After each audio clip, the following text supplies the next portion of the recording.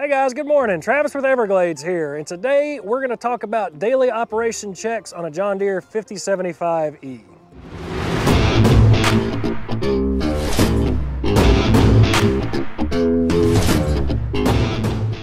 All right, so what's a daily operation check? So John Deere considers every eight hours to be a day, right? So this is something that you need to do every eight hours of operations. Let's go ahead and take a walk around this tractor.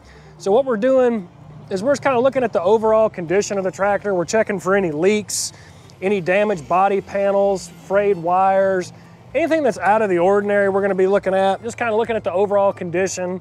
It's also a good idea to walk around your equipment before you start it, make sure there's no animals underneath it, anything else. So the first thing you're gonna to want to check is to make sure the seat belt inside the cab is intact. It's just right here. We're gonna check it Make sure it's not frayed, ripped, torn, anything like that. Make sure it can keep you secure inside the cab. Next thing we're gonna do is check our cabin AC filters. Now this only obviously applies to machines that have enclosed cabs.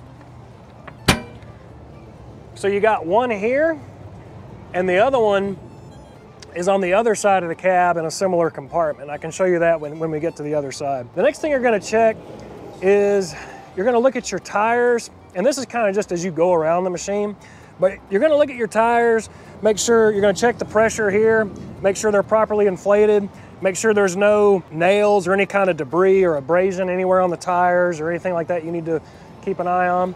Let's move to the back of the tractor here. You're gonna wanna lubricate your rear axle too. This is very important on all tractors, all right? So check right there. You see that grease zerk? Yep. So you got one of those on each side of the axle, so there and there. The next thing you're gonna want to do is check your hydraulic fluid level, which is right here. You see the sight glass? See how the full, you can see oil right there?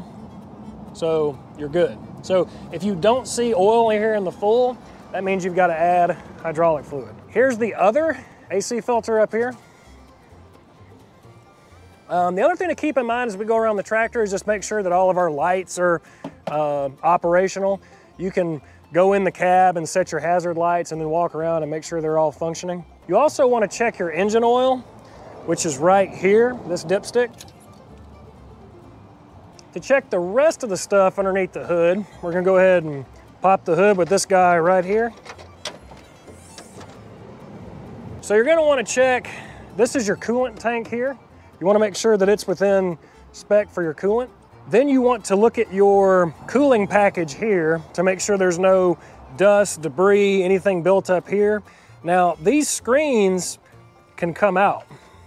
See, and we can get like an air compressor or something and just blow all those out. This one comes out as well, and we can keep those clean. So if you're running a bush hog a lot all day or cutting hay or something with dry uh, material, you wanna make sure you keep that clean. You also want to check your dust unloader valve, which is located right here.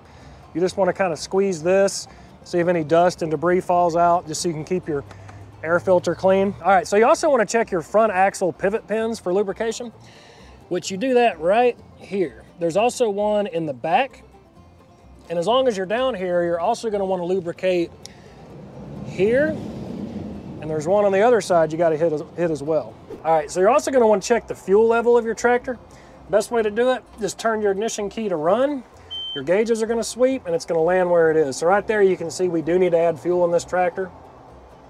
As long as you're here, it's a good idea to check all your uh, interior windows, side windows, make sure they're clean and you can see out of them. If not, hey, just you know, hit it with some Windex, wipe it down, make sure you can see what you're doing. All right, now like we talked about, this tractor does need some fuel. So where do you put the fuel? You put it right here in this green cap where it says diesel. This is where you put your fuel. Now, at the back of the tractor, you have, this is your windshield washer fill right here under this blue cap. So this is where you would add your washer fluid. Hey guys, thanks for watching. Be sure to comment, like, share, subscribe. By the way, if you need any parts, service, or advice, be sure to contact your local Everglades dealer. We'd be happy to help you out.